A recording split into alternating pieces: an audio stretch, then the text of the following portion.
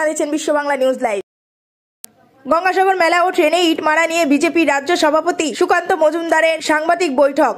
সাংবাদিক বৈঠকে কি জানালেন আমরা তুলে ধরব বিশ্ব বাংলা নিউজ লাইভের পর্দায়। ব্রাউন টেপ লাগিয়ে ঘুরে বেড়াতেন পেগাসাস আছে বলে। সেই মুখ্যমন্ত্রী এই কাজ করছে অর্থাৎ চোরের মন পুলিশ পুলিশ এখন বোঝা যাচ্ছে উনি আড়ি পাতাতে বিশ্বাস করেন। অনুব্রত মণ্ডলের ফের উনিশে জানুয়ারি পর্যন্ত জেল হেফাজতের নির্দেশ জেলে গিয়ে জেরা করতে পারে সিবিআই এমনটাও কোর্টের তরফ থেকে জানিয়ে দেওয়া হয়েছে। আমরা চাইব তাড়াতাড়ি উনি যেন দিল্লি যান। তৃণমূল কংগ্রেসের অনেক নেতাদেরই দিল্লি যাওয়ার শখ ছিল। ইডি সিবিআই চেষ্টা করছে তাদেরকে দিল্লি নিয়ে যাওয়ার। এখনও পর্যন্ত সফলতা সেইভাবে পাইনি। আমি তাই চাইব খুব তাড়াতাড়ি উনি যেন দিল্লি যান। সুতরাং তো মিড ডে মিলের মেনু বদলে গেল। বলছে যে পঞ্চায়েত নির্বাচন সামনে। তাই ডিমের পাশাপাশি মুরগির মাংস দেয়া হবে। কি মনে করেন, পঞ্চায়েত ভোট মাথায় রেখে? পঞ্চায়েত নির্বাচন তো বোতল আর মুরগির মাংসেই হয়। তো সেইটা যাতে এতদিন পর্যন্ত বাবা মা অব্দি সীমাবদ্ধ ছিল, বিশেষত বাবাদের অব্দি অর্থাৎ বাড়ির পুরুষ মানুষের অব্দি এখন বাচ্চাদেরকেও সেই মুরগির মাংসের লোক দেখানো হচ্ছে যে, পঞ্চায়েতে ভোট দাও, বাবাকে গিয়ে বলো, বাবা, তুমিও মুরগি খাচ্ছ, আমিও মুরগি খাই এবং ভোটের পরে মুরগি হই। পঞ্চাশ আবাস যোজনা নিয়ে আরেকটা হচ্ছে যে সিএম বলছেন যে পঞ্চাশ লক্ষ নাম মানে রেজিস্ট্রেশন ছিল। সেখান থেকে আমরা কেন্দ্রের এর পাওয়ার পরে আমরা সতেরো লক্ষ নাম বাদ দিয়েছি। বিজেপি নেতাদের অনেকে দোতলা, তিনতলা বাড়ি রয়েছে, তারাও এই সমস্ত আবাস যোজনার মধ্যে নাম লিখিয়েছে। এগুলো আমরা বাদ দিচ্ছি। সরকার আধিকারিকদের কাছ থেকে বেশ কিছু তথ্য সিবিআই সংগ্রহ করেছে। যদিও সিবিআই সূত্রে খবর যে তারা পুরোপুরি সন্তুষ্ট নয়, যতটুকু তথ্য পাওয়া গেছে। এবং শিক্ষা সচিবের সঙ্গেও তারা কথা বলেছে। দেখুন, আমি তো যতদূর জানি যে সিবিআই সন্তুষ্ট না হলে তাকে কাস্টাডিতে নিয়ে জিজ্ঞাসাবাদ করার রায় এর আগে আদালত দিয়েছিলেন। বহু আগে আদালত তার পর্যবেক্ষণে বলেছিলেন যে কাউকে যদি মনে হয় যে তার উত্তরে সিবিআই সন্তুষ্ট নয় তবে তাকে কাস্টাডিতে নিয়ে তাকে জিজ্ঞাসাবাদ করা যেতে পারে। তো এখন শিক্ষা সচিবের ক্ষেত্রে সিবিআই কি করবে? এটা তদন্তের ব্যাপার। সিবিআই একটি নিরপেক্ষ সংস্থা। আমরা বলতে পারি না। আমি জিজ্ঞেস করিনি লাস্ট ইংলিশ তো লজ্জার বিষয়।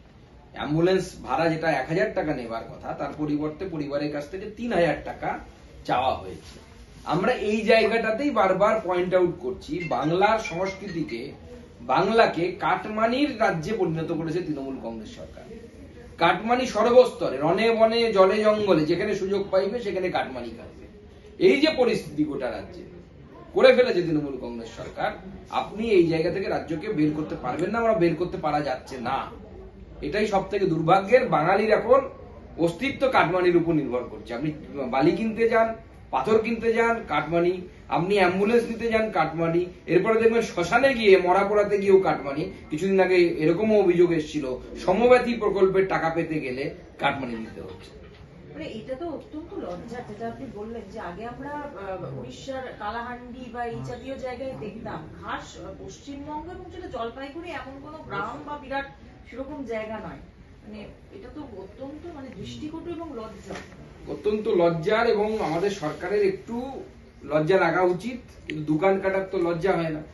এবং আমি যেটা বলছি যে বাংলার সংস্কৃতিকে কাটমানি সংস্কৃতিতে পরিণত করেছে তৃণমূল কংগ্রেস সরকার। সেই জন্য আপনি যেখানে যাবেন, দেখবেন সেখানে কাটমানি ছাড়া কোনো কাজ হচ্ছে না। এই পরিবর্তন, যে পরিবর্তনকে তৃণমূল কংগ্রেস এই রাজ্যে এনেছে, আমরা এই পরিবর্তনের বিরোধী। আমরা প্রকৃত পরিবর্তন করতে চাই, অন্ধকার থেকে আলোর দিকে নিয়ে যেতে চাই পশ্চিমবঙ্গ। তারা বুথ থেকে, আমাদের গ্রাম উন্নয়ন মন্ত্রকের যে মেল আইডি সেই মেল আইডিতে মেল করে তারা জানিয়েছে অভিযোগ। বিজেপি কেন? যদি জো বাইডেনেরও নাম থাকে, আপনার আবাস যোজনায়, কাটুন না। অ্যারেস্ট করুন তাদেরকে প্রয়োজনে।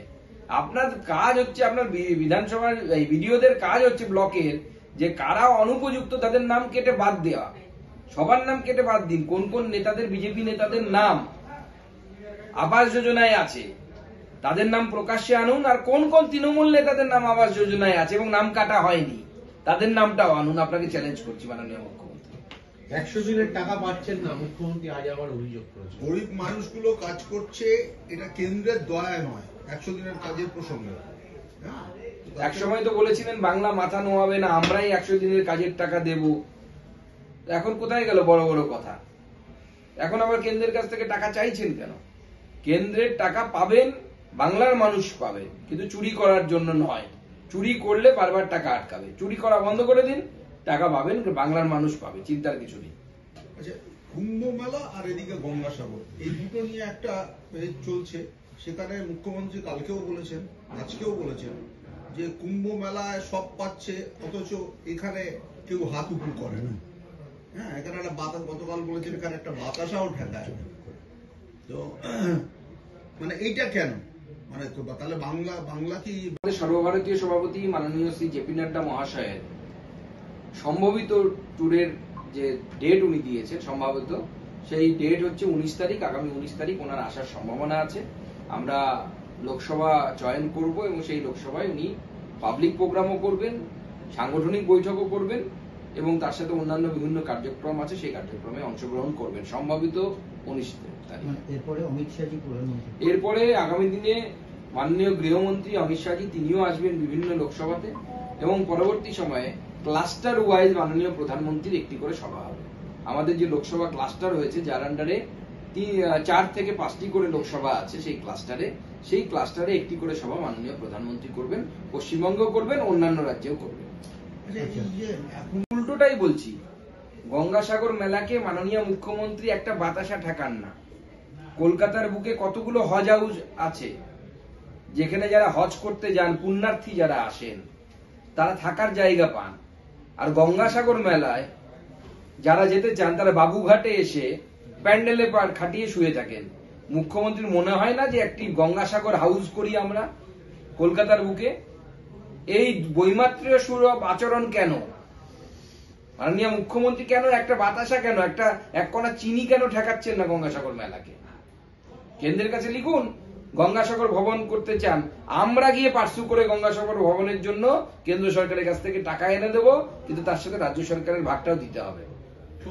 গঙ্গাসাগর মেলাকে জাতীয় স্বীকৃতি দাবি করেছেন মুখ্যমন্ত্রী। তার জন্য পদ্ধতি আছে উনি পাঠান। গঙ্গাসাগর মেলা জাতীয়ই কারও স্বীকৃতির প্রয়োজন নেই।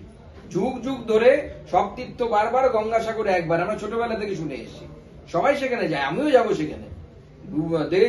দেশ বিদেশ থেকে দূর, দূরান্ত থেকে মানুষ সেখানে আসেন। মাননীয় মুখ্যমন্ত্রী এমন ভাব করছেন যে গঙ্গাসাগর মেলা তিনিই গজিয়েছেন দু হাজার আগে। কয়েকশো বছর, হাজার হাজার বছর ধরে এই মেলা হচ্ছে। কেউ জানে না ইতিহাস কতদিন ধরে হচ্ছে। স্বাভাবিক সেখানে মাননীয় মুখ্যমন্ত্রীর কোনো তাকে আলাদা করে চেনানোর দরকার নেই। গোটা ভারতবর্ষের লোক গঙ্গাসাগর মালের কথা জানেন। উনি গঙ্গাসাগর হাউসটা তৈরি করুন। হজ হাউসের সমান বড় করে। আচ্ছা। রাজ্য ভুল খবরের বিরুদ্ধে ব্যবস্থা নিতে হবে আপনারা সাবধান হয়ে যান। আপনাদের উপর কি মামলা হবে আরও? এবং মামলা করা হবে এবং এরপরে আপনাদেরকে বলা হবে সরকারের বিরুদ্ধে কিছু ছাপা যাবে না। সরকারের বিরুদ্ধে কিছু লেখা যাবে না। রবীন্দ্রনাথের রক্তকরবীর সংস্করণ আমরা দেখতে পাচ্ছি আর কি। আচ্ছা প্রাথমিক নিয়োগ দুর্নীতি মামলায় এবার সিবিআই এর স্ক্যানারে পর্ষদের ফোন নাম্বার কিছু আননোন নাম্বার ওরা কালেক্ট করেছে। এই ফোন নাম্বারগুলোকে নিয়ে ওরা তদন্ত চালাচ্ছে। মানে এটা কি বলবেন? কিছু ফোন আসতো কিছু ফোন যেত?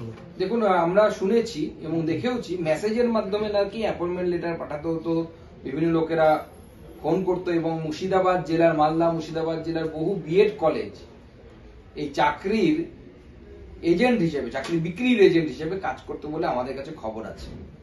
তো সিবিআই তদন্ত করছে, তদন্তের ফলে এই ফোন নাম্বারগুলো থেকে তথ্য উঠে আসবে এবং কারা এই চাকরি বিক্রির সাথে যুক্ত ছিলেন? এই সমস্ত বিষয় আগামী দিনে সামনে আসবে আসা দরকার। কারণ এইভাবে মেধার উপর নির্ভরশীল যে চাকরি যে চাকরি আগামী দিনে ভারতবর্ষ তথা পশ্চিমবঙ্গের ভবিষ্যৎ তৈরি করবে, সেই চাকরিকে এভাবে বিক্রি করা যায় না। মাননীয় মুখ্যমন্ত্রী এবং তার দলবল এই রাজ্যে যেভাবে চাকরি বিক্রি করেছেন, তার একটা হেস্তনেস্ত হওয়া দরকার, তার একটা লজিক্যাল এন্ডিং হওয়া দরকার।